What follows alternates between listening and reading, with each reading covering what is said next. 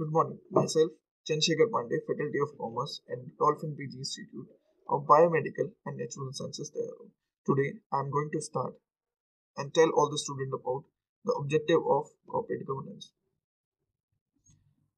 So, let us start with our first slide that is based upon corporate governance definition.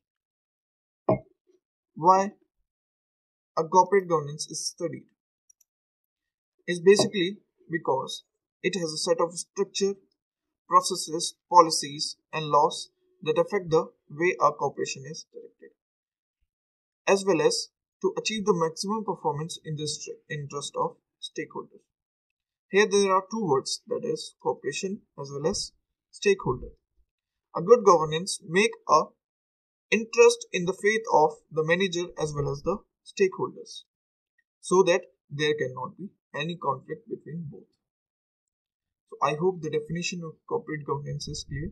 Let us start with our next topic that is objectives. Objective of corporate governance is to enhance the value of owner as well as top level of managers. Owner uh, is one who provide the finance for a business, whereas top level of management are those who controls and manage, manages the business. I hope objectives are also clear. Let us start with our next topic where all the students get confused is the difference between management and governance. Management deals with daily operations while governance is about underlying ethics. Here ethics means the code of conduct. Code of conduct of an organization. A poor management can affect governance whereas weak governance undermines the financial operations performance of a corporation. Weak governance may also affect the faith of all the owner, investors, and creator of an organization. Now, our next topic is corporate governance parties. There are basically three parties in a corporate governance. One is shareholder, another is director, and third one is the managers.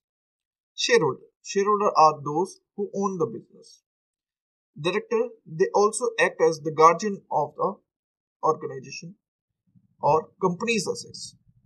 Next it consists of manager who use the company's asset. I hope corporate governance parties are clear to all the students. Let's start with next topic. That is the need of good governance. Why a good governance is needed it is due to the following reasons which are as follows. 1 good board practices. Second, control environment, board commitments, transparent disclosure, as well as the well-defined shareholders. These five points are the heading of good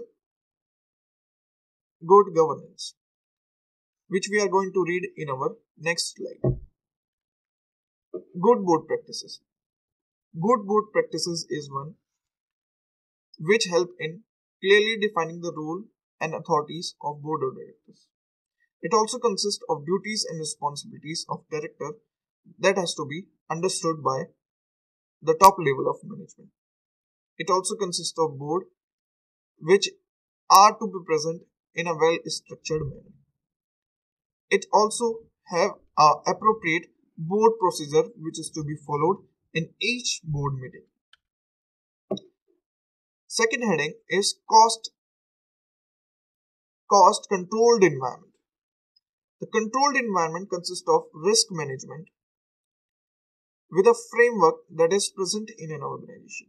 It also consists of disaster recovery system that has to be inbuilt in the place of an organization. The very Last heading under this is safety environment and media management techniques that are to be strictly followed in a company so that of environment which consists of internal as well as external are to be properly assessed. It also consists of transparent disclosure for a good corporate governance. Transparent disclosure in terms of financial and non-financial information as well as financials that are prepared that has to be in accordance with the IFRS. Now, what is IFRS? Is basically International Financial Reporting System. Now, it also consists of high quality annual report that has to be published into the newspaper as well as the website of the organization. It must be based upon web. The web-based disclosure says it must be disclosed into the organization website. It also consists of company's registry filing up to date, which means its incorporation should be up to date. The next topic under this is well-defined shareholders. The shareholders meeting should be conducted. Either it is annual meeting or a monthly meeting accordingly. A shareholder's right must be formalized as well as a clear definition of explicit dividend policy must be given in advance. So these are the elements which are to be present in a good corporate governance. Now, what are the elements of good corporate governance? It must consist of accountability, transparency, regulatory framework, business ethics and social responsibility, as well as administrative structure. If these elements are present, then it is said to be as corporate governance. Now let us read with our first topic that is accountability. Accountability is nothing but a plan of a good accounting system for its activity in order to prepare an effective financial statement. I hope all of you are clear with the financial statement.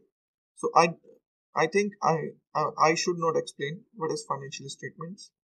So and it also consists of all the disclosure of the result in a transparent manner that has to be published into the web as well as the newspapers. The design of reporting should be improved and perfect in the newspaper as well as the website. So we shall start with our next topic that is the transparency. Transparency of corporate action into the newspapers, website and all the mediums that has to be communicated. It also consists of consequences of regulation, local norms, and set of information, and privacy, and business policies, which are concerned with the corporate decision making. As well as it consists of operations which are open to the employees, stakeholders, shareholders, and general public. So it consists of transparency.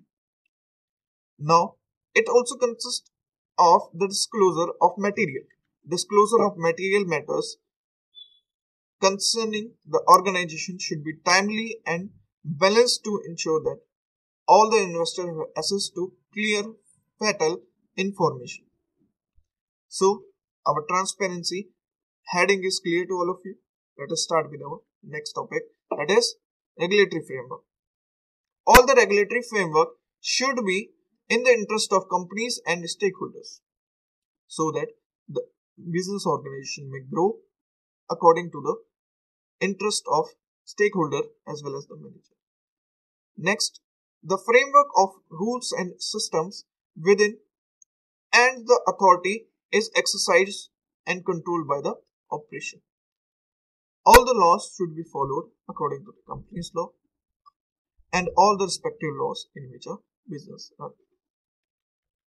The next heading under this is the business ethics and social responsibility which a company is running.